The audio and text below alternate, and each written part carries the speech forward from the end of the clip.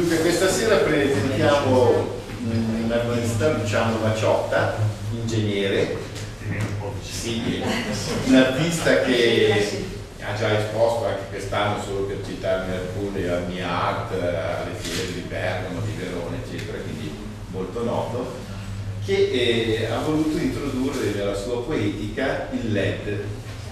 È un acronimo che sta per eh, Light eh, Emitting, emitting ecco, eh, dai, è un diodo insomma che emette luce, sono questi qui, sono, che poi vedrete, poi spegneremo la luce perché sapete che eh, tutta l'arte si basa sulla luce, i colori, in base alla luce, se spegniamo la luce non vediamo più niente, qui invece spegnendo la luce siamo in esaltazione del contrasto tra il colore e il non colore. Comunque è interessante il discorso che lui ha fatto sulla luce, voi sapete che altri artisti avevano incominciato già decenni addietro, pensiamo a Fontana quando faceva quei suoi eh, neon, eh, no, eccetera, per indicare che lo spazio veniva anche definito dalla luce, oppure Dan Flavin, un americano che faceva tutti dei neon colorati, eccetera, oppure anche lo stesso Morelea, anche lui faceva. Però sono tutti artisti che hanno fatto la luce esterna, cioè la luce che a un certo punto definiva uno spazio impalpabile, perché la luce non la possiamo toccare, la vediamo ma non la tocchiamo. Quindi era un discorso liberatorio, diciamo, in qualche modo della materia e che andava a, a finire nella luce. Qui invece il processo è il contrario. La luce è dall'interno del quadro, quindi è una luce interiorizzata che per manifestarsi, diciamo, si estroietta poi dalla tela verso di noi. E nello stesso tempo crea dei ritmi, delle alternanze oppure delle posizioni, delle simmetrie che eh, sono accompagnate ritmicamente anche da una sorta di grafica di fondo che si articola spesso sul quadrato, alcune volte indefinita, come in questo vedete c'è definizione e non definizione, ci sono due quadrati che però mh, mm, sono definiti solamente per la lunghezza e non nell'altro senso, per cui sono queste linee parallele che si richiamano empaticamente. Sotto c'è un altro discorso che è come la somma dei due precedenti, con quelle linee marroncine, e poi ci sono questi tre ritmi alternati di eh, colore con LED. Eh, naturalmente anche qui ci sono questi viola che si accompagnano molto bene arancio sotto il nero. Quell'altro, vedete pure, bisogna prendere in considerazione il tutto. Io addirittura, se volete, per un momento spegnerei le luci, sì, sì. perché così possiamo vedere eh, l'effetto che fanno, no? questo effetto diciamo fantastico. Eh, deve spegnere di lato? Sì, sì, sì, sì. Spegni pure, sì. Eh, ecco, Ecco, vedete subito che atmosfera, no? Quasi di presepe per fare un paragone non sì. coerente, ma eh, diciamo crea subito la magia dell'atmosfera, no? L'atmosfera è una cosa che con la luce tende a dissolversi perché noi vediamo la testa di uno, il cappotto di un altro, vediamo il quadro, vediamo le lampade, vediamo i muri.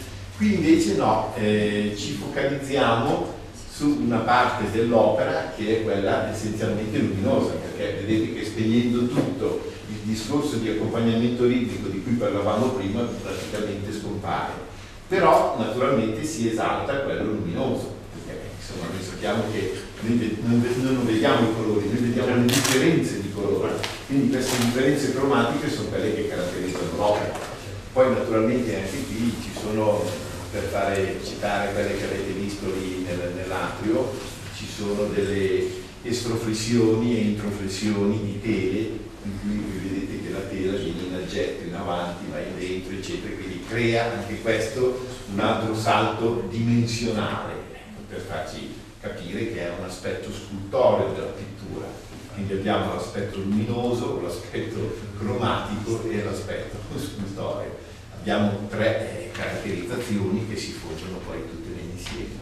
Ecco, qui vedete l'interesse, no? questo qui sembra l'inizio di una supernova, eccetera, una rotazione di galassie come subito ci si porta in ambiente cosmico, diciamo, perché voi sapete che nel cosmo c'è tutto buio, solamente quando la luce incontra un oggetto c'è una riflessione e quindi c'è la comparsa ritmi.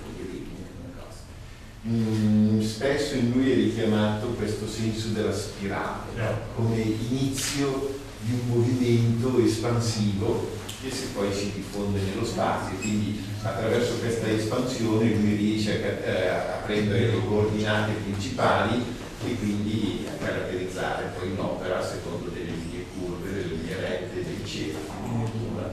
Ecco, come questo, vedete che magnifica risultante che ottiene con queste figure, che sono come dei cunei quasi, e sono basati invece su dei quadrangoli, anche questi inclusi tutti in una spirale crescente con una sommazione di due colori, poi il giallo e il nero lo vedrete quando riaccenderemo la luce. Qui abbiamo invece una formazione basata su degli esagoni che si incontrano simmetricamente e abbiamo queste quattro luci che vedete come richiamano i cunei che avevamo visto ecco in quello là, vedete, li vedete qua ancora naturalmente sono figure che ci portano come delle frecce verso il centro. Vedete, sono convergenti. Vedete con che tecnica lui riesce a farci capire che la luce va verso il centro e con le due linee che spingono come un triangolo, no?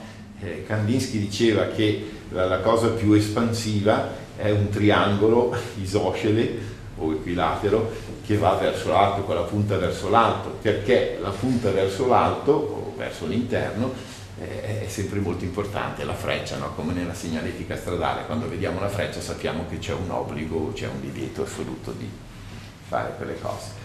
Naturalmente l'associazione ritmica degli esagoni, vedete come sono contrapposti tra di loro in modo simmetrico, in modo da creare sempre mh, una risultante quasi di staticità dinamica, eh, sembra una contraddizione in termini, no? Ma cosa succede? Mm, andando sempre più verso la perfezione de, della linea, verso la sintesi formale, succede proprio questo, che ci si allontana da una sensitività materica, naturalistica, fisica, emotiva, per cui, capite, eh, è la razionalità che prevale in queste cose e la razionalità porta a questo bilanciamento assoluto. È come quelle persone molto ignoranti no? che gridano per poter manifestare i loro pensieri, eccetera. La persona colta invece si esprime in termini normali, senza esagitazioni, senza partecipare affettivamente più di tanto diciamo, a ciò che dice, perché la razionalità impone questo,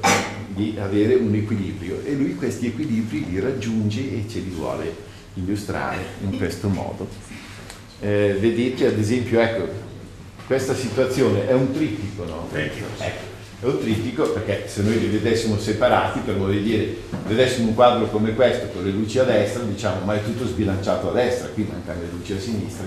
Invece c'è questa contrapposizione delle luci, vedete che sono a sinistra in verticale, a destra in orizzontale, dinamizzate da queste due vignette diagonali, sia qui che là, e il tutto naturalmente ci offre tre possibilità espressive eh, in cui una e una due forse sono sommate in queste, adesso dovrei vedere un pochino, ecco ma questo è il discorso, allora vedete che la coerenza è questa, dice ci dà il tutto e poi le due componenti che unite insieme creano un tutto che è bilanciato a sua volta. Facciamo un applauso. Un applauso una sorta e le sue opere.